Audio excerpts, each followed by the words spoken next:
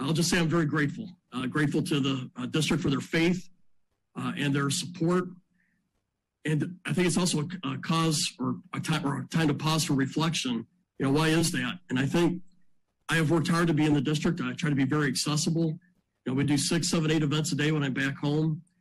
Uh, I've tried to be to live true to my conservative values, but also reach across the aisle and get things done. And I believe that's the personality of the second district. It's the center right uh, district, but it wants people to work across the aisle and solve problems. They also want decency and uh, and not name calling and and uh, the gutter politics that sometimes we see uh, nationally. So I, be- I believe for those reasons we've done pretty well.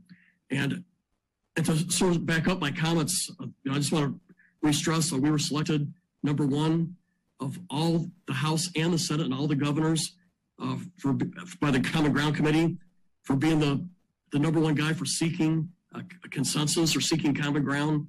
I was rated number 12, just came out last week out of 435 by the Lugar Index, which is done by Georgetown uh, for bipartisanship.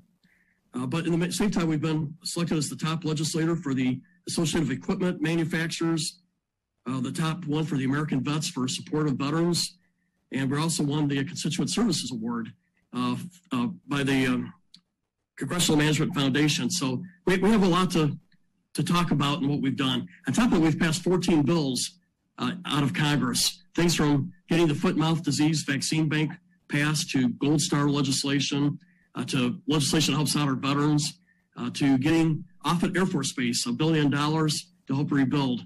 And, I, and I'm very tickled that we have an $800 million plan for Eppley Airfield, which is a direct result of the hard infrastructure bill that I voted on.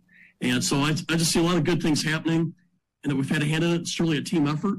Um, when you're in Congress, you do nothing by yourself. It's all about a team. It's also about a great team helping us back home. I want to take a chance just to say thank you to our campaign manager, uh, Derek Oden, and our entire team.